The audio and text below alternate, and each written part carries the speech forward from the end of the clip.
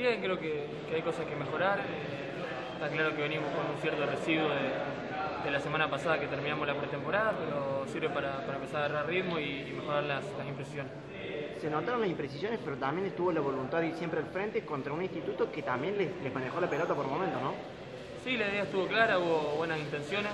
eh, el rival se paró bien y, y bueno, cuando tuvo la pelota la, la manejó de, de buena manera, también intentando contragolpearnos.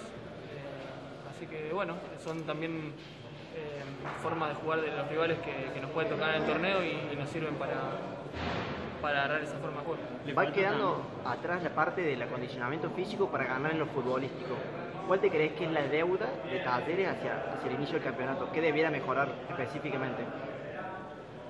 Bueno, creo que hemos hecho cosas interesantes a lo largo del, del primer semestre. Eh, creo que tenemos que mejorar la efectividad, por falta un poco de, precisión en, en la última línea, no solo en la definición, sino también en la, en la ejecución previa.